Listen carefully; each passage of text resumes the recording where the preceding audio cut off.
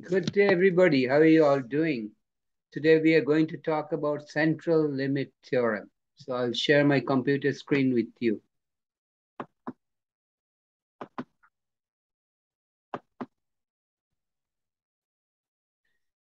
Central limit theorem, the more formal description of it. Suppose x1 through xn is a sequence of independent and identically distributed random variables with expected value E of xi equal to mu, which is a population mean, and variance VAR of xi equal to sigma square, where sigma square is less than infinite. Then as n approaches infinity, the random variable square root of n, xn bar minus mu, where xn bar is the sample average, okay? Minus mu, mu is a population average, converge in a distribution to a normal n with a mean of zero, variance of sigma square, or square root of n in parenthesis xn bar minus mu approaches normal distribution with mean of zero, variance of sigma square, which is a normal distribution with a mean zero and variance sigma square. More informal description of central limit theorem.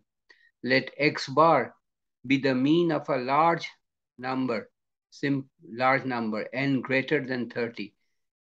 Simple random sample from a population with mean mu and standard deviation sigma then x bar has approximately normal distribution with mean mu x bar equal to mu and standard deviation sigma x bar is equal to population standard deviation sigma divided by square root of n or square root of sample size.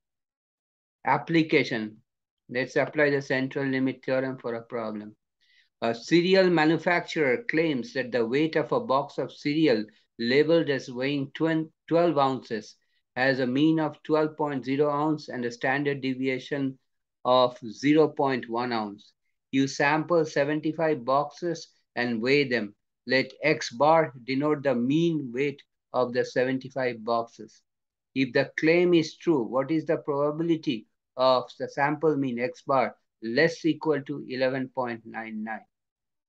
Based Part B, based on answer to part A, if the claim is true, is 11.99 ounces an unusually small mean weight for a sample of 75 boxes. Part C, if the mean weight of the boxes were 11.99 ounce, would you be convinced that the claim was false?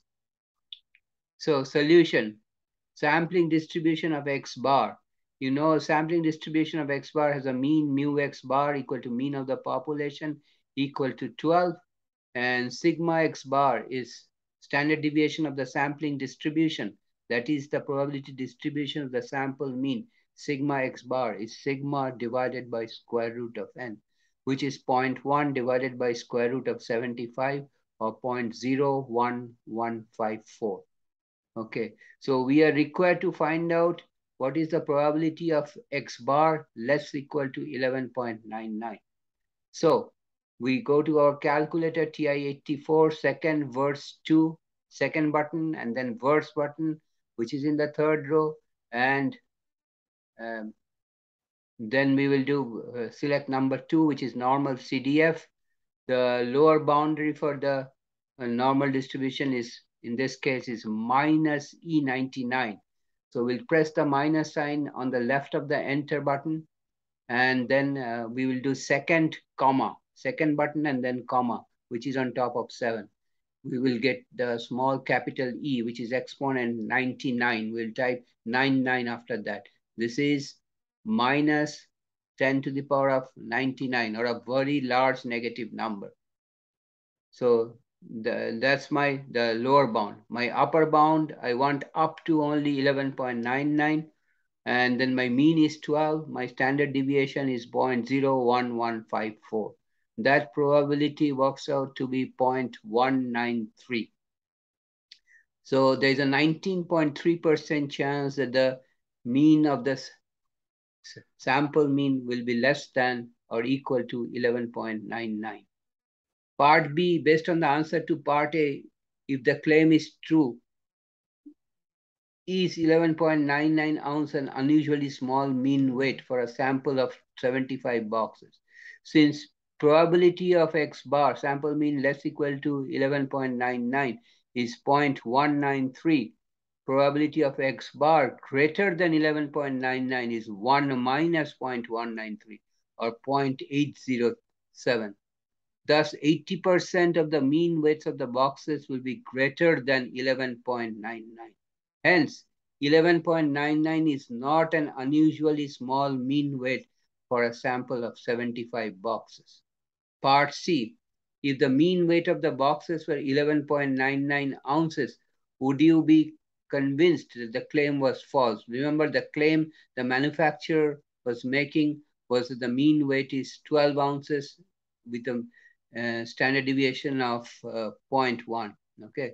If the mean weight of the boxes were 11.99 ounces instead of 12, I would not be convinced that the claim was false based on answer to part B because the probability of X sample mean greater than 11.99 is 0.807, which is a large probability value.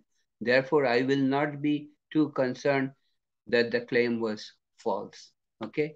I will stop here today. If you have any question, please write me a comment. I'll get back to you as soon as possible. And please subscribe to my channel by hitting the red subscribe button at the bottom right corner. I'll come back next time with another problem, another solution.